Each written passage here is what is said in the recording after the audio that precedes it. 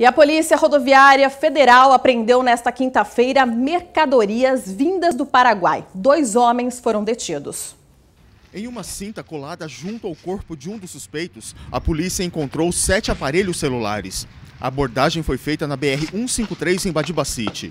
Dois homens estavam no carro e durante revista no veículo foram encontrados ao todo 19 celulares, bebidas e até receptores de TV. Os produtos avaliados em 50 mil reais estavam sem nota fiscal e eram trazidos do Paraguai. Os suspeitos confessaram que venderiam o material em Barretos. A mercadoria foi apreendida e os dois homens foram levados para a Polícia Federal, ouvidos e liberados.